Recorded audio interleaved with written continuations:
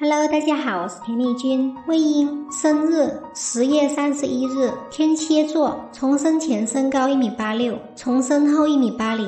天蝎座的男生是十二星座中最神秘、最性感、最有魅力的人。在他强硬的外表下，有一颗极其柔软而又高度自尊的心。和天蝎男相处的第一要义就是你要懂他。跟江家有关的三个人都是天蝎座：魏婴、江澄、金陵。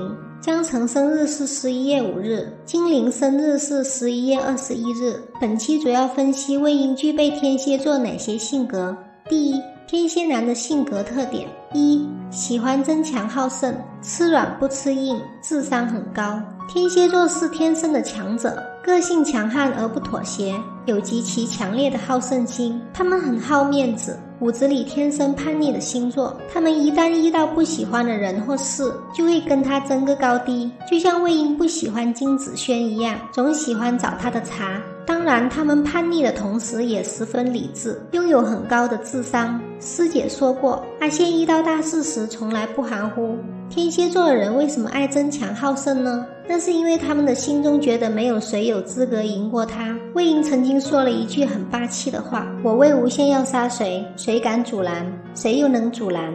他们喜欢和想要的东西，就会非常执着努力去争取，而且会做到最好。所以魏婴那么优秀，也是跟他这种好强的性格有关。二、情绪敏感且多疑，有责任感，自我保护意识较强。天蝎座是水象星座，具有水象星座的特征，注重感觉且情绪敏感。他们很难完全去相信一个人或一件事，容易多想。他们极其善于隐藏自己，极度缺乏安全感，讨厌自己被看破，却又喜欢看穿他人，有着强烈的责任感和非凡的毅力。江澄其实更像天蝎座，他同样也有争强好胜的性格，但是能力没有魏婴强，总被母亲说他不如魏婴。所以当听到那一句“你做家主，我做你下属”时，相当于抚平了江澄敏感多疑的心理。江澄看似天真，却是个心细之人，责任感贯穿他一直以来的思想，对外界戒备心强。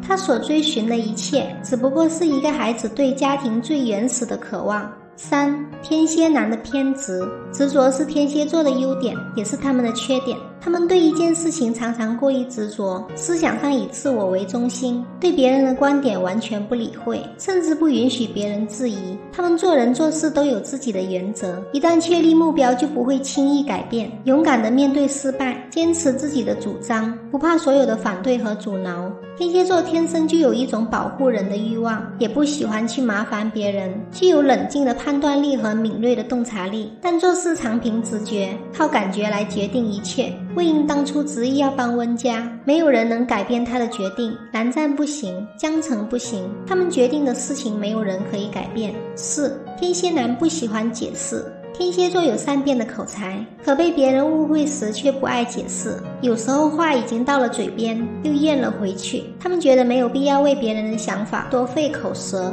清者自清，浊者自浊。时间总能证明一切。这一点，魏婴和江澄都是这个性格，都以为对方了解自己，缺乏沟通，以至于最后两个人走到了不可挽回的地步。所以沟通很重要。天蝎座的不问、不说、不解释，这就是隔阂的开始。五天蝎男记仇，也很重情义，极其心软。世人只知道天蝎座记仇这个词，似乎已成为他们的代名词，却忽略了他们善良、容易感动的一面。对于敢爱敢恨的天蝎座，他们极其重感情。如果你对他们好，他们也会同样将这份好还给你。魏婴是这样的人，江家对他的恩情，他一直记在心里。在乱葬岗，让他活下去最大的希望就是帮江家报仇。对于伤害过他们的人，天蝎座会非常记仇，因为他们是懂得吸取教训。所以别轻易得罪天蝎座，他们可能一辈子都记得。魏婴本性善良，对曾经伤害他的众仙家，在重生后还能选择原谅并解救他们；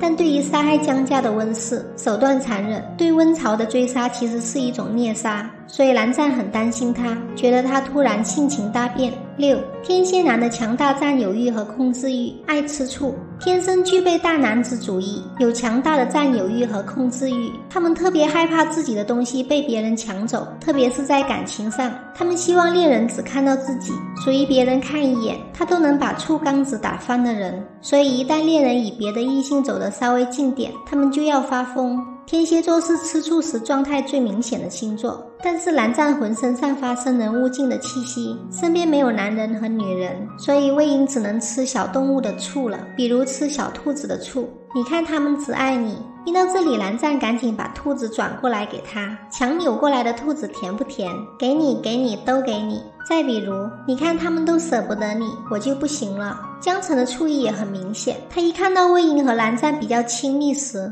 就各种翻白眼，各种带情绪的话。第二，关于天蝎男的爱情，天蝎男属于心动男，动情慢的类型，一旦动情往往很深。虽然他们也是看颜值的，但更看重你身上能够吸引他们的闪光点，让他为你沉迷、骄傲。一，天蝎男喜欢上一个人的反应。天蝎座对于感兴趣的人或者事物，潜意识的靠近通常是各种试探，从而吸引对方的注意，但通常不会主动表白，因为害怕被拒绝。是不是跟魏婴年少时很像？天蝎座遇到真爱，第一反应是害怕，想逃离这种能够左右自己心情的感觉，可是做不到。魏婴发现自己的情感时，对师姐说：“至少不要那么喜欢吧，这不是给自己套梨酸浆吗？”天蝎座时常会因为一些小事而陷入到他到底爱不爱我的怀疑和纠结中。